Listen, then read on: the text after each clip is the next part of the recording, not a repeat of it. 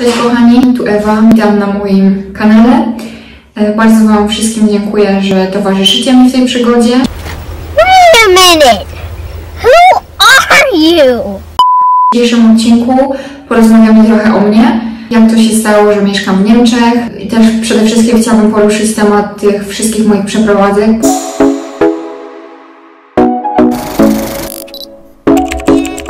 Powiem Wam teraz o mojej edukacji. Myślę, że powinnam zacząć od szkoły e, dwujęzycznej, od gimnazjum dwujęzycznego. Od początku uważałam, że nasz plan zajęć e, nie pokrywa się z planem zajęć e, moich znajomych, którzy uczęszczali do szkół rejonowych, ponieważ w naszym planie zajęć było przynajmniej 40 godzin tygodniowo, natomiast moi znajomi mieli po 32 godziny.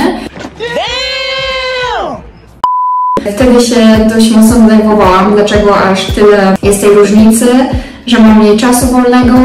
Natomiast teraz to doceniam, że faktycznie mieliśmy tak dużo tego niemieckiego. Schmetterling! Niektóre przedmioty mieliśmy także w języku niemieckim. Były to cztery przedmioty: matematyka, geografia, historia i fizyka. Na początku w gimnazjum były to tylko pojedyncze słówka wprowadzane w treści naszych zajęć, a następnie w liceum były to zajęcia e, bezpośrednio po niemiecku. Największe trudności sprawiała mi w szkole fizyka i wszyscy, którzy ze mną chodzili do szkoły, dobrze o tym wiedzą. Nie pasował mi ten przedmiot, nie umiałam się uczyć. Bardzo się cieszyłam, że na sprawdzianach e, były często jakieś zadania na punkty do przetłumaczenia, bo słówek było się najłatwiej nauczyć. E, I też dzięki temu często w ogóle mi się udało o mało zdać te sprawdziany. W ostatniej klasie liceum, w klasie naturalnej, e, zaczęłam się zastanawiać, każdy się zaczynał zastanawiać, jaką przyszłość e, sobie wyobraża, co będzie robił, na jakie studia pójdzie. Ja niestety mm, nie byłam tego w 100% pewna, siebie planu nie miałam i bardzo mnie to stresowało. Próbowałam sobie wypisać jakąś listę e, rzeczy, przedmiotów, dziedzin, w których jestem dobra. Niestety ciężko było mi samej e, obiektywnie siebie ocenić. Natomiast od jakiegoś czasu e, rozważałam wyjazd za granicę, nie miałam żadnych sprecyzowanych planów, nikogo nie znałam, kto by wcześniej wyjechał. Tutaj w klasie maturalnej mm, przyszła do nas taka jedna pani, koordynator studiów e, międzynarodowych. Opowiadała nam o możliwości studiowania w Danii. Powiedziała nam, jak wygląda proces rekrutacyjny, może nas w tym wspomóc. E, Pamiętam, że bardzo zainteresował mnie wtedy ten temat i chciałam koniecznie spróbować. W Danii, w Kopenhadze, kierunek e, biznesowy.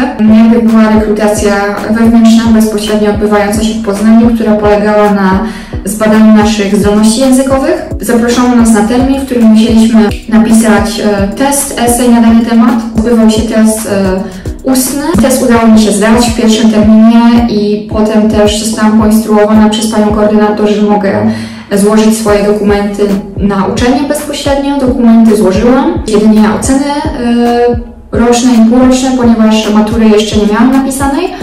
Powiedziano mi, że dość dobrze wypadłam na testach i że jedyne, e, czego teraz ode mnie oczekują, to zdana matura. Czasem miałam takie przemyślenia, że nie chcę zostać dalej w Poznaniu. Miałam e, takie dziwne myśli, które nie wiem, czy zrozumiecie, bo są one dość specyficzne, że jak jadę w autobusie do szkoły, to nie chcę być cały czas w tym samym e, miejscu, nie chcę widzieć tych samych ludzi, e, ta sama okolica i chciałam coś zmienić. E, ucieszyłam się w tym momencie, jak się dostałam.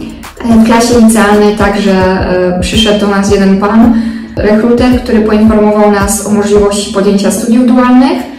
Studiach dualnych nic nie wiedziałam, ponieważ koncept ten nie był znany wtedy w naszym kraju. Natomiast w Niemczech e, koncept, koncept studiów dualnych istnieje już od lat 60. W trakcie studiów studenci także mają możliwość wykazania się praktyk i odzwierciedlenia swojej wiedzy teoretycznej pracując dla danej firmy. Podobało mi się to też pod względem finansowym, ponieważ dzięki e, studiom dualnym byłam w stanie sama się utrzymywać na studiach, e, a wiadomo, nie chcemy już wtedy pytać rodziców o każdy grosz. Proces rekrutacyjny był troszeczkę bardziej złożony. W trzecim lub czwartym etapie zostaliśmy bezpośrednio zaproszeni na assessment center. Wtedy w ogóle nie wiedziałam, co to jest, jak się do tego przygotować. Pamiętam, że mieliśmy sobie zająć na to cały dzień. Badałam nasze zachowanie na tle grupy, jak komunikujemy się w grupie, jak sobie radzimy w teście z matematyki. Wszystko odbywało się po niemiecku i też oceniali nas Niemcy, którzy przyjechali specjalnie na ten dzień, aby wyłonić ludzi, którzy nadają się na te studia. E, Po kilku dniach dostałam telefon, no nie wiedziałam, na którą z tych dwóch opcji powinnam się zdecydować, ale też przeważyła mi się, wydaje, ta możliwość praktyki. Nie będziemy mieć tylko suchej teorii, ale również będziemy mogli się wykazać w pracy. Odpowiadało mi to. E, No i zdecydowałam się, że jadę. I zaczęłam się przygotowywać e, mentalnie na wyjazd do Mannheim, który miał się odbyć za dwa tygodnie. Pojechałam do Mannheim pierwszy raz, dojechałam na uniwersytet, zostawiłam tam torby, pojechałam do miasta, żeby rzucić okiem, gdzie teraz będę przez naj- najbliższych kilka miesięcy mieszkać. W Mannheim mieszkałam w akademiku. Od e, października do grudnia e, mieliśmy fazę teoretyczną na uniwersytecie. Kolejną mm, pojechałam do Polski, wróciłam do Polski, tam odbywałam praktyki. Praktyki te były e, w pełnym wymiarze godzin. Trakcie tych praktyk musieliśmy także pisać wiele prac teoretycznych, dlatego też był to dość wymagający czas. Po zakończeniu pierwszych praktyk e, pojechałam znowu do Mannheim. Musiałam szukać nowego akademika. Nie wiedziałam, że tak ciężko jest w Niemczech dostać akademik. Zrezygnowałam z tego pierwszego w trakcie pierwszego semestru, ponieważ potrzebowałam tylko na 3 miesiące, a nie na pełen okres 6 miesięcy. Ale jakimś cudem udało mi się znaleźć e, akademik. Spędziłam tam kolejne 3 miesiące. Następnie znowu się musiałam wyprowadzić i wrócić do Polski. Moje kolejne praktyki spędziłam w Polsce w Katowicach i pisanie pracy semestralnej. E, Następnie e, pojechałam trzeci i to ostatni raz do Mannheim. E, W trakcie moich studiów w Mannheim mieszkałam w trzech różnych akademikach. W fazie w Mannheim e, jechałam już na dobre do Polski. Na praktyki odbywałam e, w Polsce mm, w Warszawie, pod Warszawą. Po tych praktykach e, szykowałam się na studiowanie na Akademii Leona Koźmińskiego. Trochę się tym denerwowałam, ponieważ o Akademii Leona Koźmińskiego krążyły historie.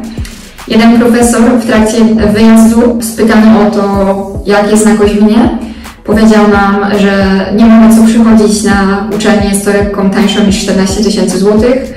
E, No i oczywiście musi być złoty iPhone. No były to oczywiście historie, e, nie było wcale tak. Czas na Koźmińskim wspominam bardzo dobrze. Mm, Były to zajęcia bardzo praktyczne, nastawione na dużo pracy w grupie. W jednych zajęciach zostaliśmy spytani, mieliśmy e, się zgłosić, kto z nas ma założony profil na LinkedInie.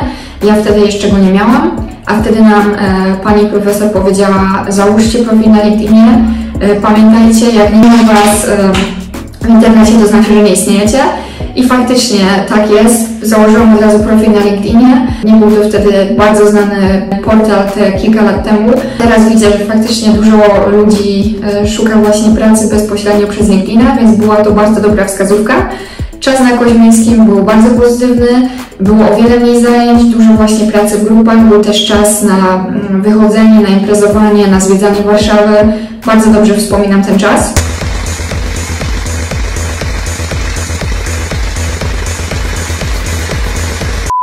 Kolejne praktyki odbywałam w Poznaniu, więc był to czas, kiedy mogłam wrócić, pospotykać się trochę z moimi znajomymi, mieszkać w moim domu.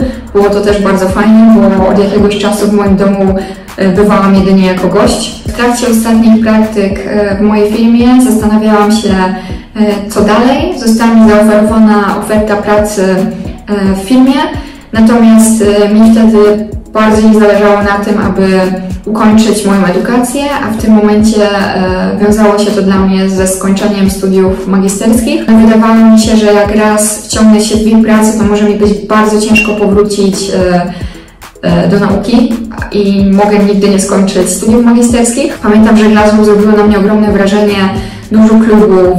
mi się podobało, że ludzie w pubach bezpośrednio podchodzili Podobał mi się ten spontan, podobały mi się te rozmowy, ludzie byli bardzo otwarci. Jedyne, co mi się nie podobało, to pogoda, ponieważ pogoda była fatalna. Glasgow jest e, regionem, w którym bardzo często pada. Wydawało mi się cały czas, że w Glasgow jest trochę inne oświetlenie, że jest trochę inna ekspozycja słońca. Wydawało mi się, że cały czas tam jest jakoś bardziej ciemno, że tak jakby ktoś zapomniał włączyć światło, ale też wydawało mi się, że trawa jest bardzo zielona.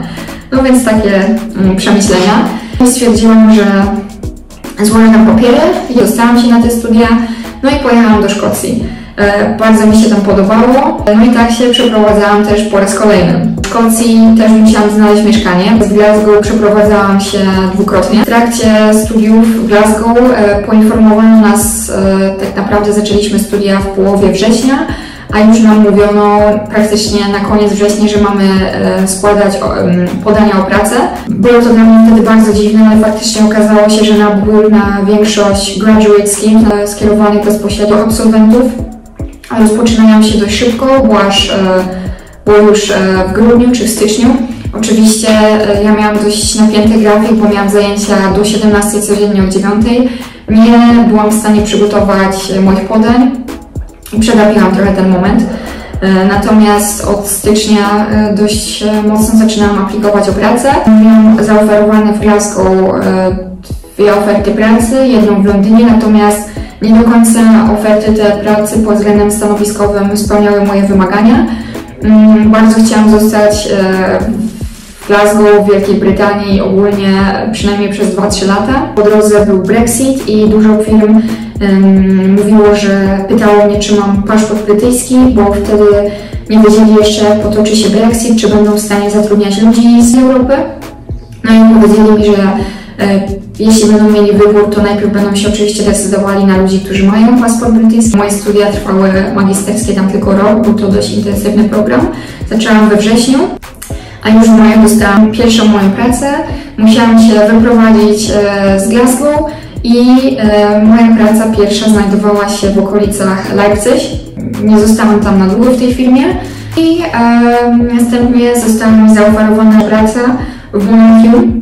Tam pracowałam przez dwa lata. Dwóch latach stwierdziłam, że spróbuję też czegoś nowego. Chciałam się rozwijać w trochę innej dziedzinie. No i zaczęłam e, aplikować o stanowiska w wielu miastach w Niemczech, nie tylko w Monachium. No i tak też z Monachium przeprowadziłam się tutaj do Heilbronn, więc tak też, e, tak też doszło do tylu przeprowadzek. Może też nie do końca powinnam liczyć wszystkie moje przeprowadzki związane ze studiami. Mam nadzieję, że byłam w stanie Wam odpowiedzieć na Wasze pytania. E, Jeśli macie jakiekolwiek jeszcze pytania, to dajcie znać w komentarzach. Zachęcam Was do zasubskrybowania mojego kanału. Dziękuję Wam za oglądanie i zapraszam do kolejnego odcinka. Na razie.